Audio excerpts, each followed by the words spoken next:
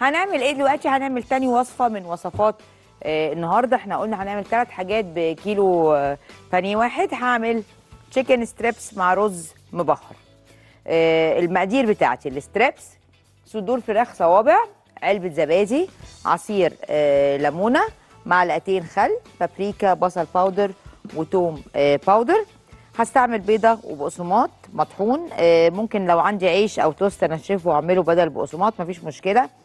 زعتر وبابريكا وبهارات هحطها على البقسماط نفسه. هاجي للرز المبهر بتاعي اللي هقدمه معاه. هستعمل رز بصلاية سمنة كاتشب barbecue sauce بهارات فراخ وبهارات مشكلة. هستعمل معلقة خل تفاح معلقة soya sauce وملح وفلفل. okay؟ أول حاجة هتبل الفراخ بتاعتي. هاجي أحط بصوا الفراخ متقطعة صوابع. اهي مقطعينها صوابع سمك 2 سم مش أكتر لأن هي الكوتنج اللي هيتحط عليها هيكبرها كمان. اهي بصوا اهي خلاص هحطها. هتبلها. أحط لها زبادي. وخل عصير ليمون وصباح الخير يا رفايدة. ازيك يا شيف؟ ازيك يا حبيبتي عاملة إيه؟ الحمد لله حضرتك عاملة إيه؟ زي الفل يا حبيبة قلبي. عينيا. عايزة طريقه عايزة طريقة ال- ال- البط بتتعمل إزاي؟ الايه؟ البط. البط؟ آه. okay. وعايزة طريقة الهمبرجر للفراخ واللحمة. okay. قولي لي البط انت عايزاه في الفرن ولا عايزاه عادي؟ لا في الفرن. ماشي. من عينيا الاثنين هقول لك طريقة حلوة قوي. ادي بودرة بصل وبودرة ثوم بهارات. والزعتر وبابريكا وهقلب الحاجة دي كلها واسيبها فيها ساعة. خلاص هنيجي بقى نروح نعمل نجهز الرز وبعد كده نيجي نكمل الفراخ. خلاص؟ الفراخ هاجي بقى هنا. هحط الحلة اللي هستعمل هعمل فيها الرز. هحط فيها شوية زيت.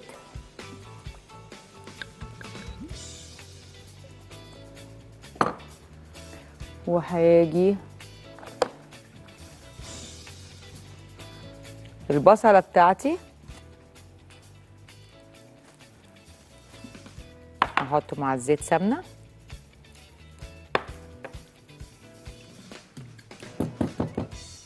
تسيح. علشان تبقى سخنة. سمنة مع زيت وأنزل بالبصلة. البصلة مش هحمرها كتير. البصلة مبشورة ناعم. بصوا ناعمة إزاي؟ مبشورة ناعم قوي. وهقلبها تقلبتين مش أكتر. مش عايزة أحطها كتير على النار. أهو.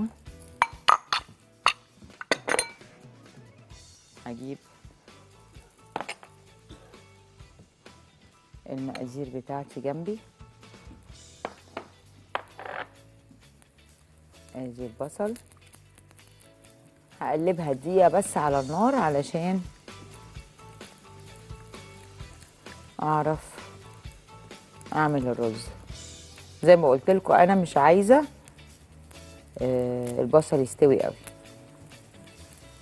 بس عايزة البصل والسمنة تسخن قوي.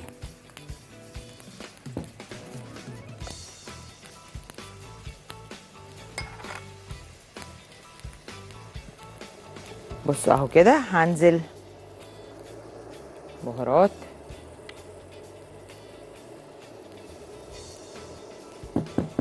كاتشب باربيكيو صوص. صويا صوص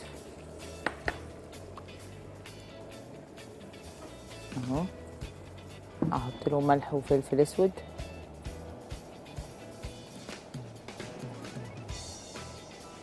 وملح. و خل التفاح. خلاص الخلطة دي كلها. وهحط فيها المية المغلية. أقل من كوباية لكوباية الرز. أهي وانس انها ابتدت تغلي المكونات مع بعضها هضيف الرز بتاعي. واغطيه وأسويه سوى الرز العادي. يغلي وأغطي عليه لغاية لما يشرب السائل بتاعه. وعايز نقطة مية. عايز يشرب السوائل بتاعته بعد كده بنهدي عليه. خلاص؟ كده. أرجع بقى هنا لإيه؟ لل النشا اللي بخلطه بالبقسماط. أنا حطيت التوابل على البقسماط. مطحون أهي. خلاص. و عايزة البيضة بتاعتي. هحطها عليه. مش هعمل بقى بيض بقسماط ودقيق لا. هحط البيضة على الفراخ وأقلب. بعد بقى إيه؟ ما خلاص خلصنا تبلناها وفضلت متتبلة. ادي البيضة وآجي آخدهم.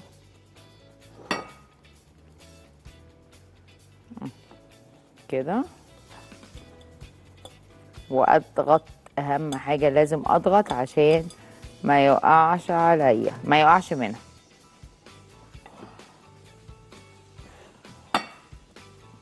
أهو.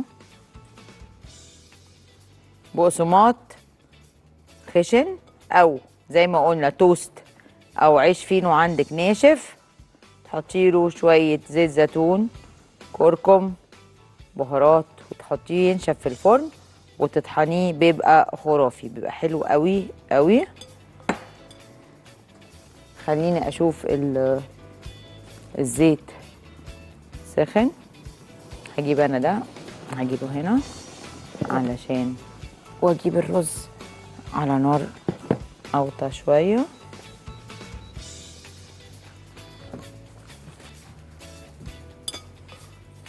ال strips دي أحلى وأنضف وأرخص مليون مرة من اللي بنجيبها جاهزة من بره. وبعدين أنتوا ممكن تعملوا لها double dip لو عايزين القشرة اللي بره تخينة. يعني هوريكم يعني إيه دبل ديب إحنا دلوقتي عملناها اهي. لو أنا عايزة اخلي القشرة تخينة قوي زي بره هعمل إيه؟ هاجي ال- اللي أنا عملتها بالبقسماط دي هرجع تاني احطها في التتبيلة بتاعة الفراخ. اهي. اهي وارجع احطها تاني. يبقى مرتين علشان تعمل قشرة تخينة قوي من بره زي اللي بتباع بره. اهو. صباح الفل يا أمل. صباح العسل. ازيك يا حلوة؟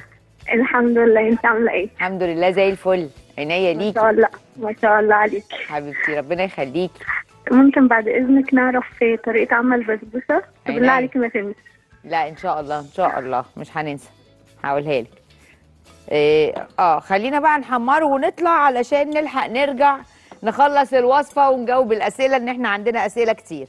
خلاص أنا هحط الفراخ يا رب يكون الزيت أهو الزيت سخن خلاص إحنا هنحط الفراخ دي نحمرها السترابس والرز يستوي وإحنا في الفاصل.